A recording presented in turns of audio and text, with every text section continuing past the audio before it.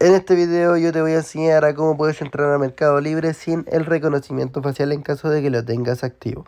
Lo primero que vamos a hacer para corregir este problema, que es muy fastidioso porque no puedes acceder con el reconocimiento facial, ya sea por cualquier motivo, ya sea porque no te funciona tu cámara o bien tiene otro tipo de problemas. Entonces lo que vamos a hacer va a ser muy simple. En este video, yo te, en la, la, descripción del video te voy a dejar el enlace de este sitio oficial donde te vamos a dar el paso a paso de todo lo que puedes hacer para corregir el problema.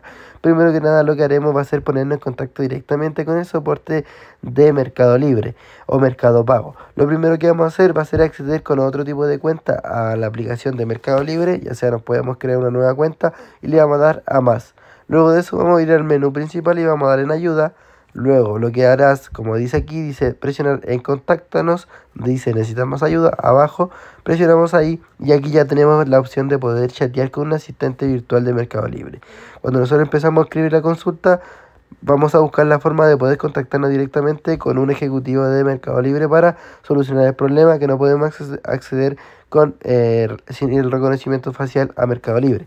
Así que luego de eso de poder corregir el problema con el soporte, si en caso de que no nos funcione, vamos a borrar los caché y los datos de la aplicación.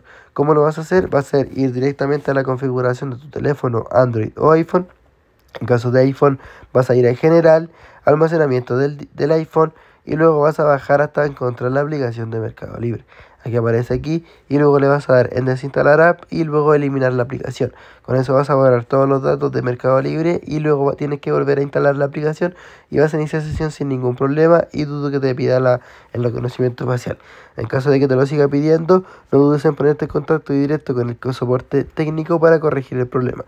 Si teniendo dudas pueden dejarnos un comentario en este video en nuestro sitio oficial solucionar.pro.